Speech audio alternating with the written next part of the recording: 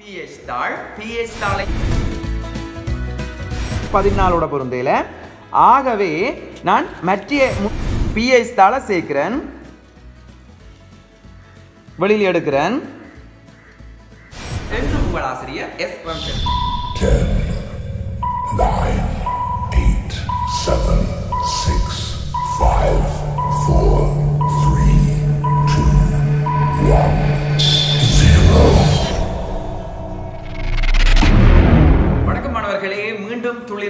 சேனலினூடாக உங்களை சந்திப்பதில் பெரும் மகிழ்ச்சி. ஏற்கனவே உங்களுக்கு ரெண்டு வீடியோஸ் வந்திருந்தனான் ஒன்று சிவப்பு பாசி சாயத்தால் தொடர்பானது அதே போல இன்னொரு வீடியோஸ் வந்திருந்தனான் நீலப்பாசி சாயத்தால் தொடர்பானது. அதனுடைய தொடர்ச்சியாக அடுத்த காணொளியாக அமைய இருக்கிறது. நாங்கள் இப்போ பார்க்க போகிற விஷயம் பிஹெச் தாள். பிஹெச் தாளையும் நாங்கள் வச்சுக்கொண்டு பிஹெச் தாளினை பயன்படுத்தி காரங்கள் அமிலங்கள் தொடர்பாக நாங்கள் அறிந்து கொள்ளலாம். இந்த பிஹெச் தாள் ஒரு பசிய மஞ்சள் நிறத்தாள். இதுல பார்த்து கொள்ளுவோம் பசிய மஞ்சள் நிறமான ஒரு கடதாசி தான் இந்த பிஹெச் தாள். அதனுடைய முற்பகுதியில சில நிறங்கள் காட்டப்பட்டிருக்கின்றன. சிவப்பு நிறம் ஒன்று என்ற நிறத்தையும் செம்மஞ்சள் மூன்று என்ற நிறத்தையும் மஞ்சள் ஐந்து என்ற நிறத்தையும் அதே போல் ஆறு ஒரு இளம் பச்சை நிறத்தையும் ஏழு பச்சை நிறத்தையும் காட்டுகின்றது. அதே போன்று எட்டு கொஞ்சம் கடுமையான பச்சையினையும் பத்து அல்லது பத்து கொஞ்சம் அதிகமான பச்சையினையும் பன்னிரண்டு நீலத்தினையும் பதினாலு ஊதா நிறத்தினையும் ஆஹ், இந்த நிற அட்டையிலே காட்டியிருக்கிறார்கள்.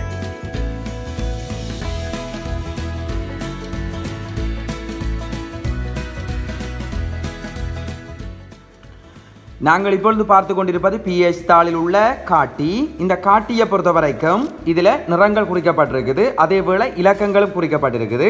இதில் எட்டு தொடக்கம் பதினாலு வரையான நிறங்கள் காட்டப்பட்டிருக்குது. எட்டு தொடக்கம் பதினாலு வரை இலக்கங்கள் காட்டப்பட்டு அது ஒவ்வொரு நிறங்களையும் குறித்தவாறு காணப்படுகிறது.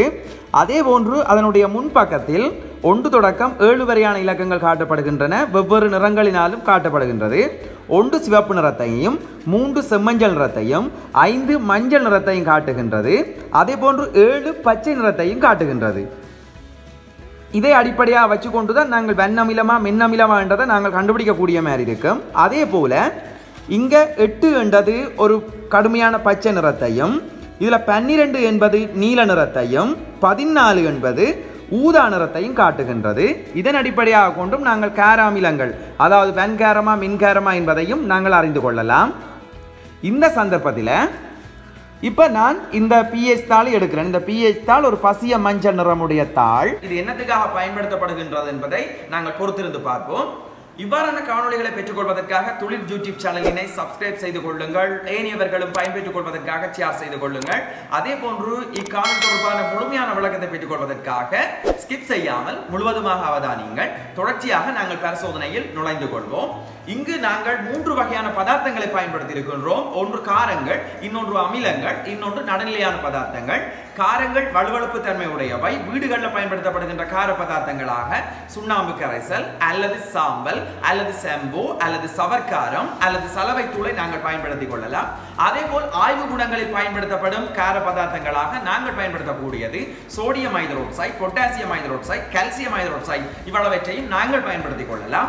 அதே போல் வீடுகளில் பயன்படுத்தப்படுகின்ற அமிலங்களாக புளிப்புத்தன்மையுடைய பழங்களை குறிப்பிடலாம். ஆஹ் உதாரணமாக இதுக்கு தோடம்பழம் அல்லது எலுமிச்சம்பழம் அல்லது புளியம்பழம் அல்லது திராட்சை பழம் இவ்வாறான புளிப்புத்தன்மையுடைய பழங்களை பயன்படுத்திக் கொள்ளலாம். நெல்லிக்காய் இவற்றை பயன்படுத்திக் கொள்ளலாம். அதே போல் ஆய்வு கூடங்களில் பயன்படுத்தப்படுகின்ற அமிலங்களாக சல்பூரிக் அமிலம் நைத்திரிக் அமிலம் அதே போல ஹைட்ரோகுளோரிக் அமிலங்களை நாங்கள் பயன்படுத்திக் கொள்ளலாம். சோடியம் ஹைட்ரோக்சைடை பயன்படுத்தி இருக்கின்றேன். ஆய்வு கூடங்களில் பயன்படுத்தப்படுகின்ற கார பதார்த்தம். அதே போல் சாம்பல் நீரை பயன்படுத்தி இருக்கின்றேன். இது வீடுகளில் பயன்படுத்தப்படுகின்ற கார பதார்த்தம். அதே போல் இங்கு நீரை பயன்படுத்தி இருக்கின்றேன். இது நடுநிலையான பதார்த்தம். அதே போல் இங்கு பழப்புளி கரைசலை பயன்படுத்தி இருக்கின்றேன் இது வீடுகளில் பயன்படுத்தப்படுகின்ற அமிலங்கள். அதே போன்று இங்கு சல்பூரிக் அமிலம் அல்லது ஐதரோகுளோரிக் அமிலத்தை பயன்படுத்த முடியும். நான் பயன்படுத்திய அமிலம் ஐதரோகுளோரிக் அமிலம் அதையும் பயன்படுத்தி இருக்கின்றேன் இப்பொழுது இவற்றினுள் நாங்கள் பிஎச் தாளை இடப்போகின்றோம் பிஎச் தாளை இடும் போது ஏற்படும் நிறமாற்றங்களின் அடிப்படையில் அவை மின்னமிலமா வெண்ணமிலமா மின்காரமா வெண்காரமா அல்லது நடுநிலையான பதார்த்தமா என்பதை நாங்கள் அறிந்து கொள்ளலாம். தொடர்ச்சியாக காணொளியில் இணைந்து கொள்ளுங்கள். இந்த பிஹெச் தாள் எடுக்கிறேன். இந்த பிஹெச் தாள் ஒரு பசிய மஞ்சள் நிறமுடைய தாள். இதில் நான் பக்கத்தில் அசிட் வச்சிருக்கிறேன். அதாவது சல்பூரிக் அமிலம் இட்டிருக்கிறேன். இந்த சல்பூரிக் அமிலத்துக்குள்ள நான் இந்த பிஹெச் தாளை தொடுக உர செய்கிறேன். இப்போ இந்த பிஹெச் தாள் ஒரு நிறத்துக்கு மாற்றம் அடையுது இப்போ இந்த பிஹெச் தாளினுடைய நிறமாற்றம் ஏற்பட்டிருக்குது. நான் பா பயன்படுத்தியது அமிலம். இந்த அமிலத்தை நான் பிஹெச் தாளோட இடும்போது இந்த நிறம் மாறி இருக்குது ஆகவே இந்த நிறத்தை இந்த காட்டியோட ஒப்பிட போகிறேன் எட்டிலையும் பொருந்தேல ஒன்பதில் பொருந்தேல பத்தோட பொருந்தேல பன்னெண்டோட பொருந்தேல பதினாலோட பொருந்தேல. ஆகவே நான் மற்றிய முன்பக்கத்தில் உள்ள நிறத்தோட பொருத்த போகிறேன் இப்போ பார்த்தா இது ஒன்று என்ற நிறம் அல்லது மூன்று என்ற நிறம் மூன்று என்ற பொருந்தேல ஒன்று என்ற நிறத்தோட பொருந்துது. ஆகவே இதில் ஒன்று தொடக்கம் ஆறு வரையான இலக்கங்களோட இந்த நிறமாற்றம் பொருந்துமாக இருந்தால் அவை அமிலங்களாக காணப்படும். சரி அப்போ இது சிவப்பு நிறம். இப்போ நான் இதில் துடையக்குள்ள இந்த நிறத்துக்கு வந்திருக்குது. ஆகவே இப்போ நான் இதில் பயன்படுத்தின இந்த ரசாயன பதார்த்தம் அமிலம் என்ற முடிவுக்கு வரலாம் நாங்கள். அதுவும் இந்த ஒன்று என்ற நிறத்தோட இது பொருந்துமாக இருந்தால் வெண்ணமிலமாகவும் அதேவேளை மூன்று அல்லது ஐந்து என்ற நிறத்தோட பொருந்துமாக இருந்தால் மின்னமிலமாகவும் இந்த அமிலம் காணப்படும். அப்போ இதில் ஒன்று என்ற நிறத்தோட பொருந்தினபடியாக இது வன் அமிலம் என்ற முடிவுக்கு நாங்கள் வரலாம். அதேவேளை இன்னொரு பிஎஸ் தாள் எடுக்கிறேன். ஆ, இது பசிய மஞ்சள் நிறத்தாள். இதை இப்போ நான் பழப்புளி கொண்ட கரைசலுக்குள்ள இடுறேன் பழப்புளி கொண்ட கரைசலுக்கு இட்டாச்சு. இப்போ நிறமாற்றத்தை அது காட்டுது. இதில் நிறமாற்றம் அடைஞ்சிருக்குது. இந்த நிறத்தை கொண்டு போய் இதோட பொருத்தி பார்க்க போகிறேன் ஒன்றோட பொருந்தையில் கிட்டத்தட்ட இந்த அஞ்சு என்ற கலரோட பொருந்தக்கூடிய மாதிரி இருக்குது. மூன்றுக்கும் இந்த அஞ்சு என்ற நிறத்தோடையும் பொருந்தக்கூடிய மாதிரி இருக்குது. ஆகவே ஒன்று தொடக்கம் ஆறு வரையான பெருமானங்களை இது காட்டுமாக இருந்தால் இது அமிலத்துக்குள்ள சேரும். ஆகவே இதுக்குள்ள இருக்கக்கூடிய பதார்த்தம் மென் அமிலம் என்ற முடிவுக்கு வரலாம். ஒன்று என்றதை காட்டினா அது நாங்கள் வெண் அமிலம் என்றும் இந்த அஞ்சு அல்லது ஆறு அல்லது அந்த பெருமானங்களை காட்டினா அது மென் அமிலம் என்ற முடிவுக்கும் நாங்கள் வரலாம். ஆகவே இப்போ இந்த பழப்புளி ஒரு மென் அமிலம் என்ற முடிவுக்கு வரலாம்.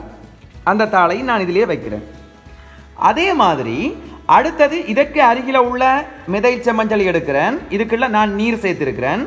நீர் நீர் ஒரு நடுநிலையான பதார்த்தம். அந்த நடுநிலையான பதார்த்தத்துக்குள்ள மிதைல் சொ- மன்னிக்க வேணும். நடுநிலையான பதார்த்தத்துக்குள்ள நான் பிஹெச் தாளை சேர்க்கிறேன். பிஹெச் தாளை தொட்டுட்டேன். இதில் நிறமாற்றம் ஏற்பட்டிருக்குது. இதில் பார்த்தா ஒரு பச்சை நிறமாக நிறைமாற்றம் அடைஞ்சு நிறமாற்றம் அடைஞ்சிருக்குது.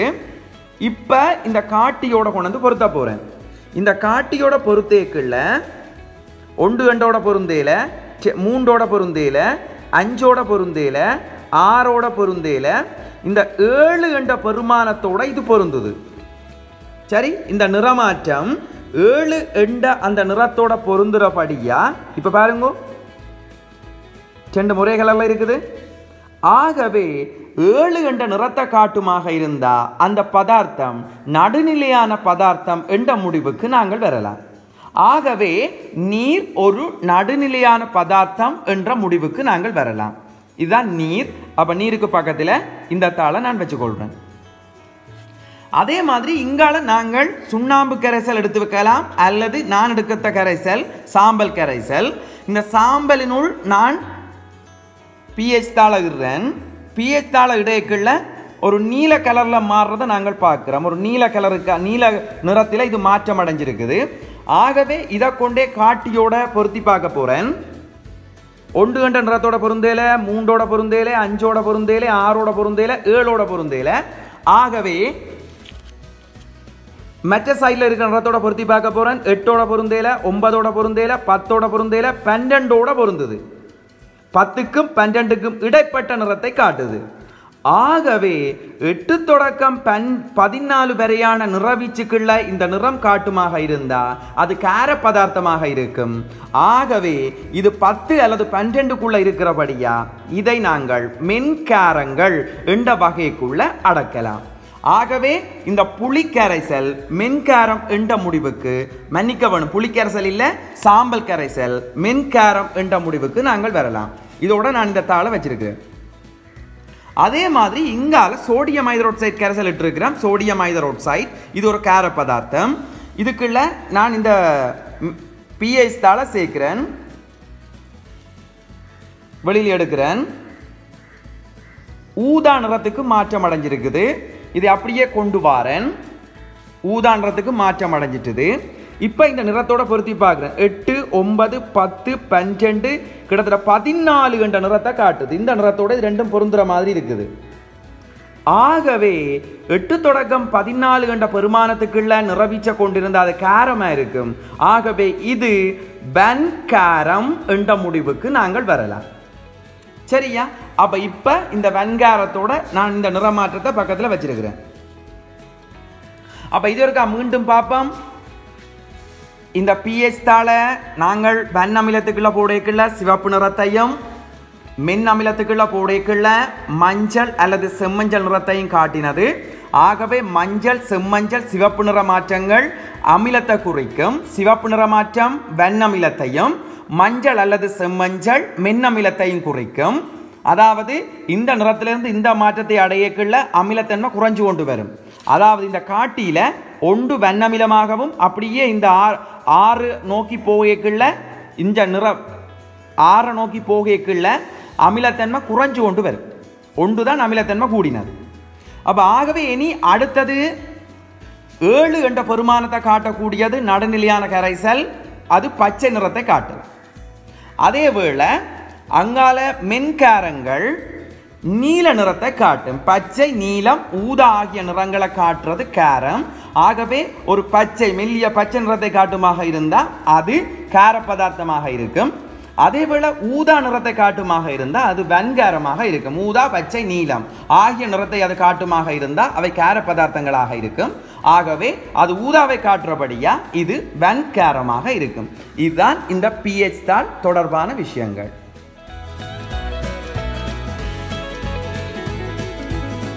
நன்றி மாணவர்களே இவ்வாறான காணொளி உங்களுக்கு பயன் தரும் என நான் நம்புகின்றேன். அவ்வாறானதாயின் தொழில் யூடியூப் சேனலினை சப்ஸ்கிரைப் செய்து கொள்ளுங்கள். ஏனையவரும் பயன் பெற்றுக் கொள்வதற்காக ஷேர் செய்து கொள்ளுங்கள். மீண்டும் ஒரு காணொலியூடாக சந்திக்கும் வரை விடைபெற்றுக் கொள்ளும் நான் என்று உங்கள் ஆசிரியர் எஸ் ரவிச்சந்திரன். நன்றி வணக்கம்.